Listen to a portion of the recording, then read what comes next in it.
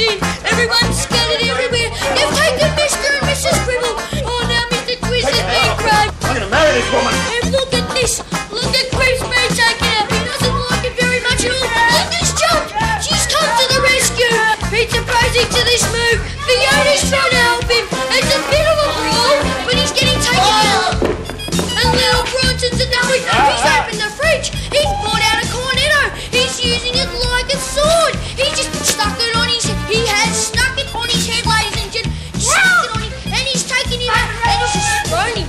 Straight out the door. Rabbit's trying to fight off his opposition. He stood up to this man. He's about three foot taller, but he's standing up to him. He's taking a